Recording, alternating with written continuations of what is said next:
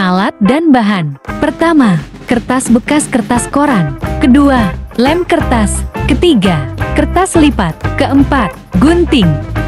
Di sini saya menggunakan kertas dua lembar yang tidak terputus, hasil merobek tengah-tengah buku tulis.